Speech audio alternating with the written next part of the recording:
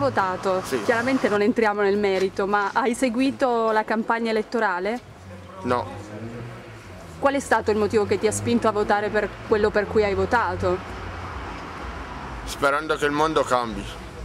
E per la città pensi che sia il candidato ideale che ha indicato per eh, la Pens- scelta del sindaco? penso di sì. Eh, Avevi un'indicazione? Hai votato semplicemente quello che avevi votato l'altra volta? No, è la prima volta che voto. Ah.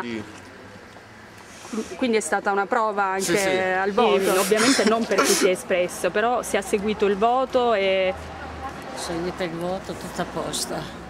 Ho seguito tutto il programma sempre delle votazioni. delle elezioni. Sì, sì, sì. Quindi ha scelto il candidato sulla base di una sua idea nel- maturata nel tempo. Maturatissima. Ha seguito quindi le elezioni attraverso l'informazione in televisione? Sì, sì, sì. In Grazie. continuità A lei. col passato, secondo lei, il voto di Torino oppure ci sarà uno scarto notevole? Io ho l'impressione che sia mm, che sia- ci sia un po' di scarto, ecco, nel senso che ci sia un po' di. non sia troppo legato al passato. Poi chiaramente sono opinioni perché è così una cosa intuitiva secondo me.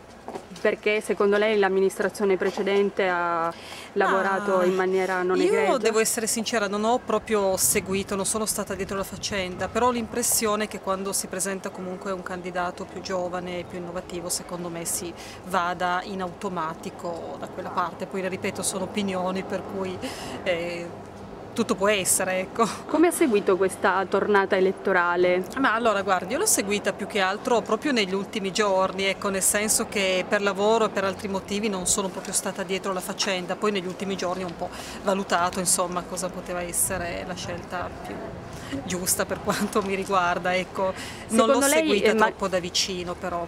Secondo lei è mancata l'informazione in merito alle amministrative o è stata parziale, è stata Ma incompleta? secondo me, allora, ehm, per, quel, mh, per quel che mi riguarda c'è stata abbastanza informazione, anche se io personalmente sarei partita ancora un po' prima eh, proprio per dare la possibilità alle persone più che altro di riflettere, di valutare, non fare magari tutto un po' velocemente, ecco. Cosa dovrebbe fare per prima cosa secondo lei il futuro sindaco? A cosa dovrebbe dare importanza? Beh, io penso sicuramente ai problemi che comunque ci sono a livello, secondo me, di immigrazione, di comunque case popolari, soprattutto emergenze abitative, scuole che a volte hanno dei problemi di struttura. Secondo me c'è da stare dietro soprattutto quelli che sono i servizi sociali eh, come, come priorità, ecco.